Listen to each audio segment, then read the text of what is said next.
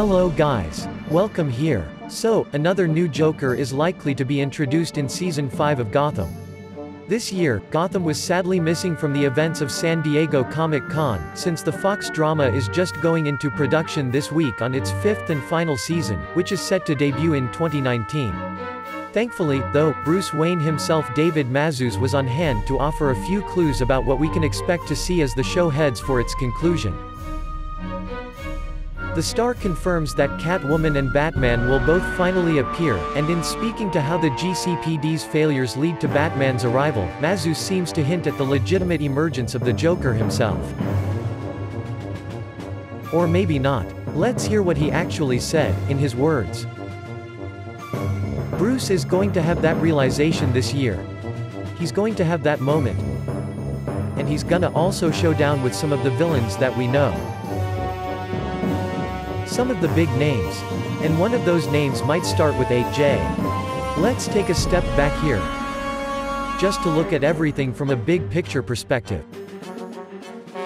Gotham has been inching its way down the Joker trail ever since Season 1, when Cameron Monaghan was first introduced as Jerome Valeska. After resurrections and facial reconstruction and more, Jerome was killed off and replaced by his far more pathological brother Jeremiah, who lacks his siblings' high-pitched cackles.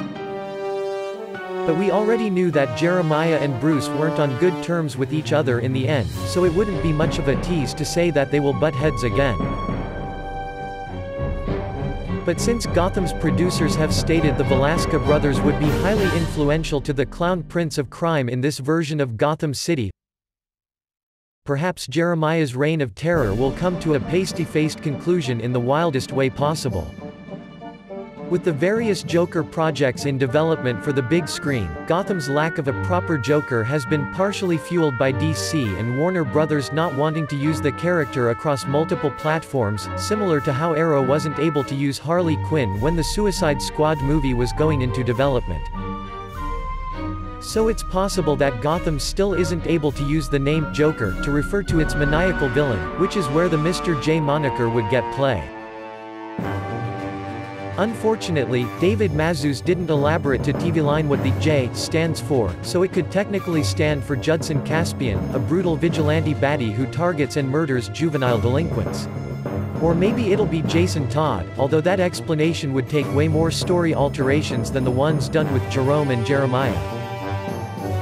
With more villains like Man-Bat making a home for themselves in Gotham City, Gotham will bring Season 5 to fans when it premieres on Fox in 2019. What else is happening in the DC universe? Find out by subscribing to my channel. See you soon.